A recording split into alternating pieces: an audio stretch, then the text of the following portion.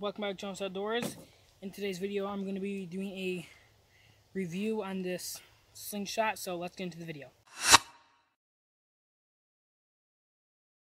Okay, so this slingshot, you can just get it off Amazon. I'll actually put the link in the description below, but, um, yeah, it's not very much money. It's just like $10. It's a really awesome slingshot. Um, so, yeah, let's shoot it shoot this piece of foam first and see if we can find our um, thing in it. So, missed. So, should be a lot easier to hit now. Okay, so I'm guessing it did nothing. I'm guessing eh, made a little thing right there, but yeah, let's shoot something metal. Okay, so we are gonna go for that target right there. I hit it, I think.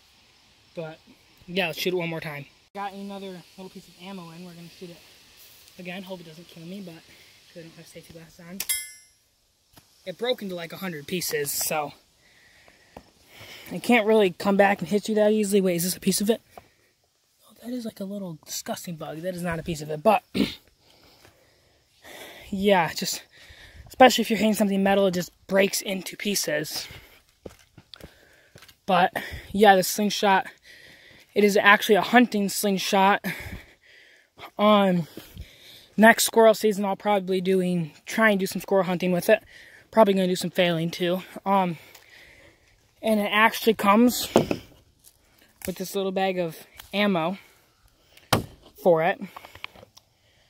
Um, if you're actually killing an animal with it, like a squirrel, I would, well, I gotta pick all those up after the video. But if you are actually killing an animal with it, I would recommend probably using a rock. It would probably kill it better. But yeah, so the slingshot will be in the link in the description. So yeah. I hope you guys enjoyed today's video. Um, if you did, subscribe. Um, and yeah, I'd recommend getting the slingshot. Links in the description. So yeah, see you guys in the next